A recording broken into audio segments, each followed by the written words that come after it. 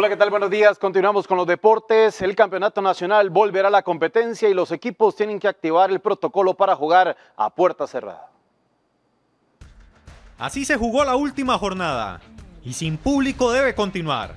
El campeonato nacional tiene nuevas medidas para sus compromisos. Se harán a puerta cerrada, se tomarán temperatura los que asistan al estadio. El visitante debe llegar cambiado y habrá cubrebocas para todos los involucrados. Los clubes pueden instalar toldos que garanticen la higiene, que garanticen la privacidad de los jugadores, o bien oficinas administrativas que no se están utilizando en este momento y se habilitarán eh, para eh, que se usen como camerinos. En la reunión virtual que tuvieron este lunes se aprobaron los cinco cambios por equipos para los compromisos y solo se podrá jugar en estadios que cumplan con el protocolo y que se determinarán cuáles el próximo miércoles al mediodía. Si no puede dar medios alternativos y del todo el estadio no cumple con los requisitos para el protocolo, su partido debe ser trasladado a una cancha alterna que sí lo cumpla. Aspectos como escupir o tocar la cara al rival serán sancionados según las nuevas medidas impuestas por el Ministerio de Salud. Y para ampliar este tema hemos invitado al set de Noticias Repretel al doctor Esteban Campos, médico del Deportivo Saprissa y también jefe de la comisión que ha manejado todo este tipo de protocolos de la UNAFUT para que el fútbol eh, tuviera el aval por parte del Ministerio de Salud para volver a la competencia. Doctor, ¿qué tal? Muy buenos días. ¿Y qué trabajo y un protocolo de más de 16 páginas con letra menuda para que el fútbol pudiera volver a la competencia? Buenos días. Sí, muy buenos días, Minor. Sí, definitivamente se trabajó en un protocolo muy profesional la verdad que se involucraron muchos especialistas, tanto de la rama médica este, general, infectológica, eh, epidemiológica, y también muchas otras personas que participaron alrededor de todo lo que es la logística del fútbol, a fin de tener un protocolo muy completo y que se adapte a las necesidades del Ministerio de Salud y lo que el país está necesitando en este momento. ¿Ayudó mucho el comportamiento que han tenido los equipos eh, en esa habilitación para los entrenamientos individuales?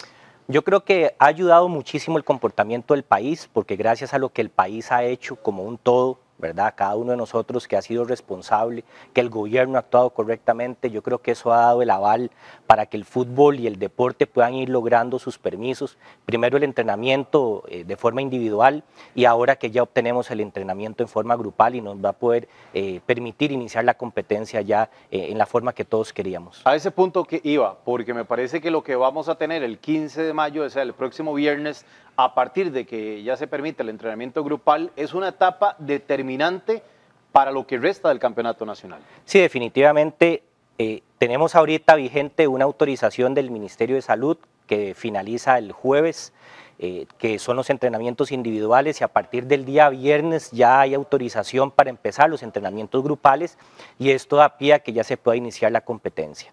Así que, bueno, esto no nos exime que hay que bajar la guardia, más bien al contrario, el protocolo de partidos es todavía más estricto, hay que tomar control de muchísimas otras eh, situaciones que en un entrenamiento no se dan y que el llamado es que todos tenemos que estar muy comprometidos y ser muy responsables. Doctor, la inspección de estadios, de camerinos a partir de hoy, va a marcar un rumbo también en campeonato nacional. Sí, definitivamente yo creo que esto es una gran oportunidad también para hacer una retroalimentación en cuál es la realidad de la infraestructura en los estadios en Costa Rica y tratar de buscar seguir creciendo como fútbol profesional que somos. El día de hoy, el día de mañana, la UNAFUD está destinada a hacer ya una revisión minuciosa de lo que es el área de los camerinos de cada uno de los estadios a fin de garantizar cuáles son las condiciones reales que presentan los equipos y si hay que hacer modificaciones o qué otra medida se va a tomar a fin de que la infraestructura cumpla eh, y, pueda llevar a cabo un partido de fútbol con todas las medidas que se han solicitado. Sí, porque de lo contrario, algunos equipos que evidentemente sus estadios no cumplan estas condiciones tendrán que utilizar cancha alterna que sí lo cumpla, eh, evidentemente. Bueno, ya nosotros eh, cumplimos con elaborar el protocolo y ya poner, como dicen, las reglas del juego de lo que tenemos que hacer.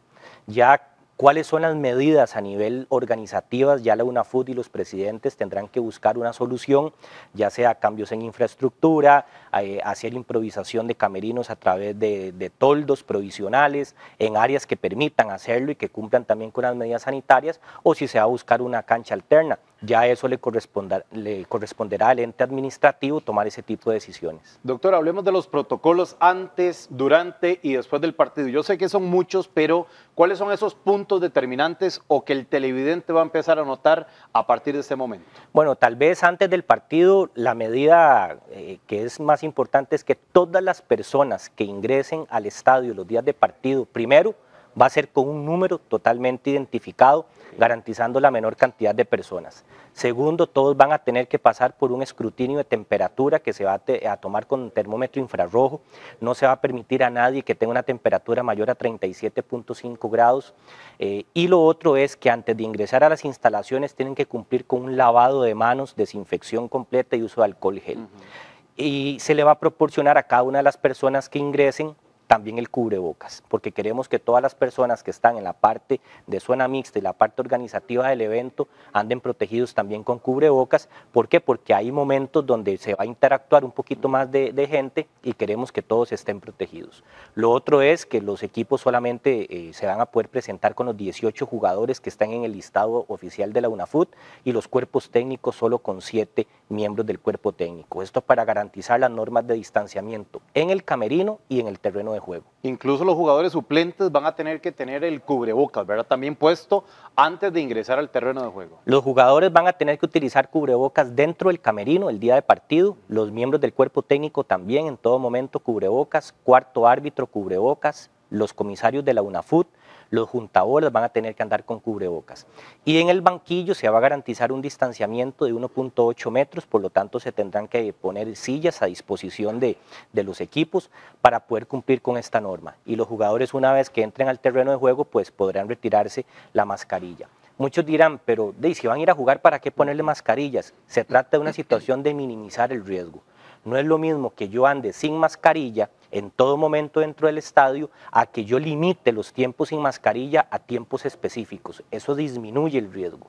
No podemos eh, pretender que el riesgo lo vamos a, bajar nunca a cero, pero no es lo mismo tener un riesgo de 80, 90% de transmisibilidad a un riesgo de un 5, un 10%. Incluso, eh, para que tengan claro, los juntabolas, los recogepelotas van a tener desinfectante cada vez que tienen la pelota, la van a limpiar y la vuelven a poner en juego. Sí, definitivamente se va a habilitar cuatro juntabolas que van a estar en todos los extremos de la cancha y ellos van a tener eh, toallas desinfectantes a fin de que cada vez que el balón llegue a sus manos ellos puedan hacer una desinfección del balón y se garantice que el balón va a estar desinfectado la mayor cantidad de tiempo posible. Sí, los cinco cambios. Usted como médico del Deportivo Saprissa, la FIFA lo habilita pensando en que el parón podría, doctor, atraer más lesiones a los futbolistas. Sí, claro, vamos a ver, eh, en el mundo los futbolistas tienen entre 35 y 45 días de estar prácticamente parados. No es lo mismo entrenar en la casa o en un gimnasio que entrenar en, lo que es la situación real de juego. Son dinámicas diferentes y la FIFA entiende que la reincorporación, precisamente por ser desde grupos pequeños, eh, puede afectar la parte eh, física en el sentido que pueden desarrollarse lesiones eh, y por eso autoriza los cinco cambios, ¿verdad? Para, tratar de garantizar que se va a distribuir mejor el tiempo entre los jugadores.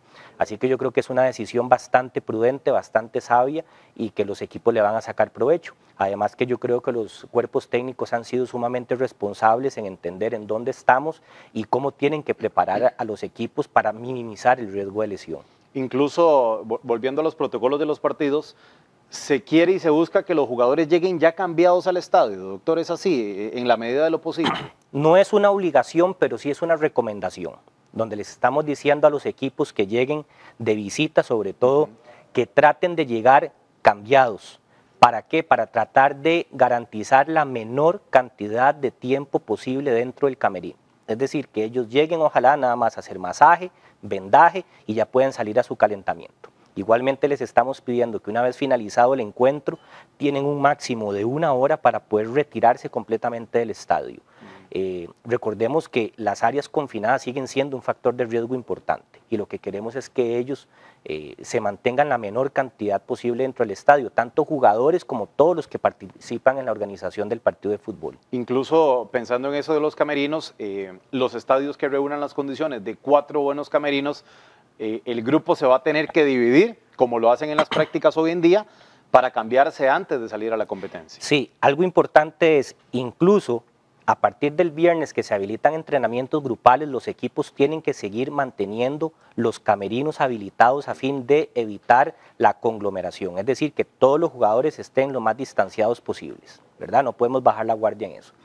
Y en los partidos eh, es exactamente lo mismo. ¿Verdad? Entonces, nosotros estamos tratando de garantizarle a los jugadores su seguridad, al igual a todas las personas que participan alrededor del evento y eso es eh, muy conveniente definitivamente. Hay un tema que me llama la atención y es que se les va a prohibir, de alguna manera, si lo podemos llamar así, que el futbolista escupa durante el partido o bien se limpie la nariz, costumbres que tienen los jugadores. Incluso da la posibilidad que si lo hacen se ganen una tarjeta amarilla, doctor. Vamos a ver, nosotros hemos tenido algunas conversaciones eh, con la UNAFUT, con la Fede Fútbol, con la Comisión de Arbitraje. Tenemos que entender la situación en la que estamos ahorita, no solo en Costa Rica, sino en el mundo. Y definitivamente que el deporte pueda empezar, hay que entender que el deporte no va a tener la misma realidad que hace unos meses atrás. Y hoy por hoy lanzar un escupitajo en el terreno de juego o tocar deliberadamente la cara de un adversario para tratar de dolosamente contaminarla, eso es una práctica antideportiva. ¿Por qué? Porque sabemos que a través de un escupitajo o a través de sonarse la nariz en, el terreno de juego, estamos eliminando una cantidad posible de virus lo suficientemente contaminante para un adversario o para un compañero incluso. Entonces, en este momento, por la realidad que tiene el mundo con el COVID, lanzar un escupitajo es una conducta antideportiva donde no estoy pensando en mi compañero, ni en mi rival, ni en la salud de ellos, ni en sus familiares, ni los que están alrededor. Así que se vuelve algo tan doloso como lanzar un codazo para agredir a un rival. ¿Qué conducta se va a tomar? Bueno, eso es algo que la comisión de arbitraje tendrá que analizar, pero definitivamente la misma FIFA está analizando el que se pueda amonestar este tipo de conductas con una tarjeta amarilla. Doctor, muchísimas gracias, ha sido muy claro y felicitar el gran trabajo que ha hecho la Comisión Médica de la UNAFUT para tratar de eh, que vuelva a rodar la pelota. Desde el 12 de marzo se suspendió el campeonato nacional, así que muchísimas gracias por habernos atendido acá en Noticias Con todo gusto.